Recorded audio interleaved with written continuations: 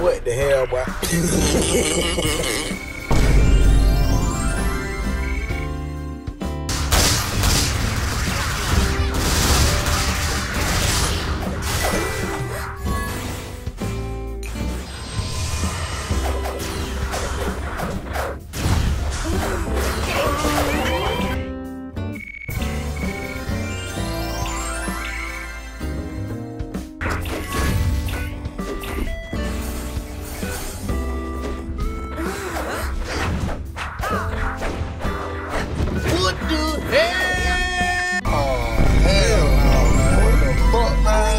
Get your ass on.